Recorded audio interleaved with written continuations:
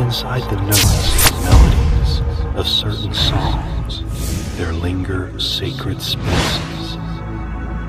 A quiet, melodic oasis, soothing the wrongs that daily each of us faces.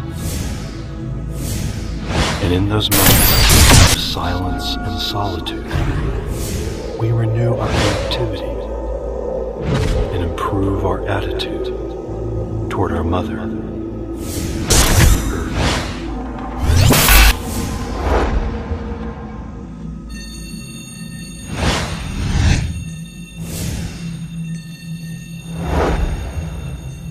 And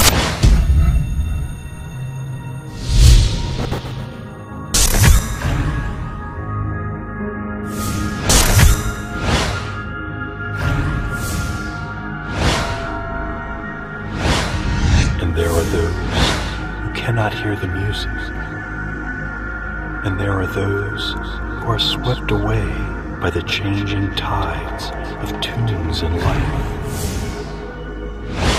And there are those who can find the sacred spaces in the most unlikely of places.